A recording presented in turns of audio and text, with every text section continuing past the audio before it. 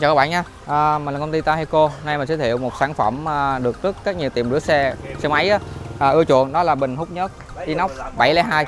Thì à, bình này đang có lượng dung tích là 5 lít. Và hôm nay mình sẽ giới thiệu sơ qua về cách sử dụng và cũng như là cái à, ứng dụng của nó nha. Ok. À, đây mình có để một cái bình à, dung dịch nước thì mình à, ví dụ tượng trưng cho bình nhớt nha.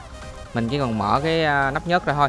Còn đây là đường cấp hơi vào, bạn gắn hơi vào đây đây là cái van xả. Bạn mở ra thì khí sẽ đi vào và ra đây và hút nhớt vô bình này.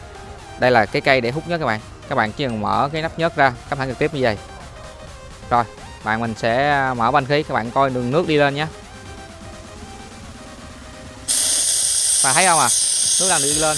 Là nhớt mình vô bình này. Bên hông này là sẽ có một cái thanh thanh này và dùng để đo cái mức nhớt trong bình đó mình xem có mức nhớt mình nó đầy bình chưa. Đó, bạn thấy không? Nước đang lên.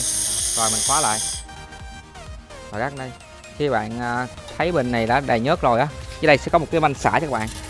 Đây bạn thấy mà một van xả mình mở ra thử các bạn coi nha. Đây nhớt sẽ chảy ra như vậy. Đó rất là đơn giản. Và tiện dụng nữa. Thì à, mọi chi tiết các bạn cứ liên hệ số hotline bên dưới clip này hoặc là lên trang web của công ty Taheco để được à, tư vấn miễn phí nha. Cảm ơn các bạn quan tâm theo clip này ạ. à.